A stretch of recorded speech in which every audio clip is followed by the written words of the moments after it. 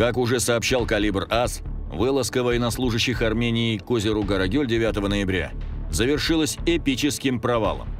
Напомним, решившись хоть как-то отличиться от своих бездарных предшественников, нынешний министр безуспешной обороны Армении Аршак Карапетян дал указание личному составу вооруженных сил Армении передислоцироваться к озеру Гарагель и занять более выгодные позиции вблизи армяно-азербайджанской государственной границы. Так он лично подписал приказ о выдвижении на двух грузовых автомобилях КАМАЗ в направлении госграницы около 60 армянских военнослужащих, оснащенных стрелковым оружием и штатными боеприпасами. По приказу министра обороны Армении они должны были в кратчайший срок взять под контроль проселочную дорогу, связывающую посты подразделений азербайджанской армии. Загородив дорогу металлическими сеточными конструкциями, габионами, армянские военнослужащие попытались перерезать дорогу между позициями азербайджанских военнослужащих. Однако, столкнувшись с решительным отпором наших военных, армяне вынуждены были отступить. Не прошло и получаса, как к месту инцидента прибыл вооруженный до зубов отряд спецназа азербайджанской армии. Армянские военнослужащие были взяты в окружение – Отрезанные от тыла и абсолютно потерявшие понимание ситуации армянские солдаты в 10-градусный мороз, не обеспеченные горячим питанием, водой и соответствующими средствами для обогрева личного состава, попали в безвыходное положение. К слову, наши военные, в отличие от армянских, были обеспечены и продовольствием, и палатками, и отоплением.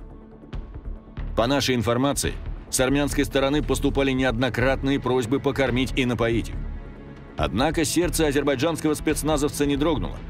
Кормить вражескую армию в наши обязанности уж точно не входит. Разрядили ситуацию российские военные, а именно заместитель командующего 102-й российской военной базой в Гюмри Александр Горин. Лишь обращение российских коллег к азербайджанскому командованию позволило армянской стороне убраться самой, а не как обычно ногами вперед. Напомним, что все это происходило в тот день, когда в центре Еревана тысячи нацистов с факелами скандировали у российского посольства «Прощай, немытая Россия» и требовали прекратить российскую оккупацию Армении. Но вернемся к Горогелю. Пора бы официальному Еревану уже понять, что подобными необдуманными действиями армянское военное командование не сможет добиться положительного результата, а всего лишь бессмысленно рискует жизнями своих солдат.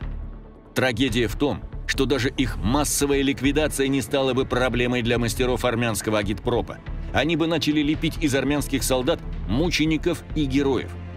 Но в действительности мы все стали свидетелями, как безграмотное армянское военное руководство в очередной раз превращает своих военнослужащих в пушечное мясо. Как это уже было с провальным контрнаступлением в Джебраиле или же засылкой ширакских военных в Хаджавент в декабре прошлого года. На этот раз – Зинворы отделались легко. Испугом, пинками и массовым воспалением легких. Но что будет в следующей?